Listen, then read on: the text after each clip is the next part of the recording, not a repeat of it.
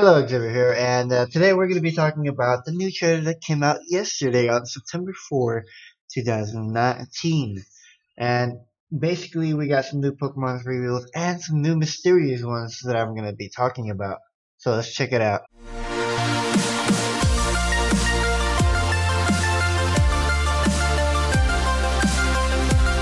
Alright, so let's start with Cramorant. He is a flying water type, and he has an ability called Gulp Missile. So basically, when he uses Surf or Dive, he has this fish, these, this new Pokemon. I, I suspect it, I suspect it's a new Pokemon on its uh, beak, and, and basically it shoots it at you, and you take damage.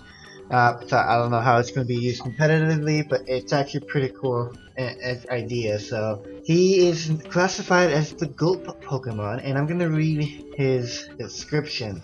When it comes to food, it will try to swallow anything it can fit in its mouth. Sometimes it will swallow things that aren't its intended prey, spitting them out in a hurry once it realizes it's a mistake. Cramorant can be forgetful, but it will never forget a trainer it grows to trust. However, it seems that even trainers will face fierce attacks from the Cramorant if they try to steal its food.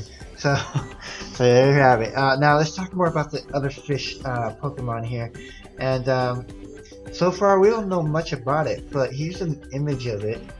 And then here's a another image of it uh, from the official Pokemon website that I found. And it gives you a closer look to what it looks like. Now, could this be a new Pokemon? I believe it could because if they just wanted to make an ability where he shoots a fish at you, they could have just added a random silhouette. Um, but they've added detail to it, and they're even giving it a face, you know, eyes and mouth and all that. So they gave it character. So I'm guessing this is a new Pokemon. Now, could there be different variations of the fish uh, when it spits it out? Maybe. Maybe we'll see other fish Pokemon that we know, Remoraid or anything like that. But this unnamed fish Pokemon, uh, may be a new Pokemon. Now, let's go from Cramorant to Polteageist. Now, Polteageist, really cool idea. I like it. Um, ghost type Pokemon. It's known as the Black Tea Pokemon. Now, its ability is Weak Armor, which we already know what it does. You get hit, your defense goes down, but your speed increases. Well, it depends on generation. It may change on this generation as well. Now, the description reads, Polteageist's body is made from black tea and is said to have a very distinct aroma and flavor. It will only allow a trainer trust to sample its tea.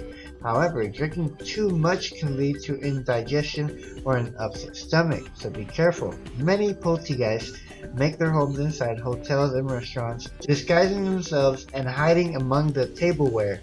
They can pour their power into leftover tea and create even more of their kind, so they're treated as pests. Now, these are some really cool stuff. That means uh, they're not going to be as rare as we think they are, maybe. Uh, maybe they're going to be common, but not too common. So, like in between both common and rare. Uh, I wonder if we're going to be having a haunted house. I don't know if we are, but that would be really cool. Now, moving on to, I want to say a new Pokemon, but there has been a new update on one of them, and that is Alcremie has been verified to have several different appearances, uh, changing its color as well as its fruit decoration. So it has over 20 variants and here's the image right now. So that's a good amount of variations. I doubt anything's going to change. No typing, no, no ability change. But I guess this gives a variation kind of like you had Vivillon with all the different variations, nothing changed, just design-wise. So I think it's going to be the same case with Alcremie, which is really interesting for those that want to actually use the Pokemon in battle and stuff like that. This, uh, I don't know if this will change the design of the Gigantamax form, but if it does, that's a lot of variation right there. I doubt it will though, uh, so we'll just have to see and find out. Now, last but not least, we have the unnamed mysterious Sparky Pokemon that appears in the docks in Nessa's hometown. Uh, basically, the water gym area. And I honestly don't know what they are, uh, but they look very interesting. it looks like it could be a fully evolved Pokemon, uh, maybe a rock or dark ghost type Pokemon. Maybe uh, it looks like a rocky, spiky thing with some weird looking arms. Maybe a rock and dark, but again, this I, I can't really tell you what it is because I don't know what it is. It's just uh, I'm bringing out this and it's, it's already out. So uh, yeah, uh, that's it. Everything for this video, and it was just going through all the several Pokemon for the trailers from Direct and then the official trailer that they released after that. So thank you guys for watching and I'll see you guys on the next video. Bye! Hey guys, thanks for watching. If you're interested in more of my videos, don't forget to hit that like and subscribe button. And make sure to click that notification bell so you can get notified whenever I upload a new video. And also, don't forget to check out these channels down here, as well as this series right here. Thank you guys for watching, and I'll see you guys next time.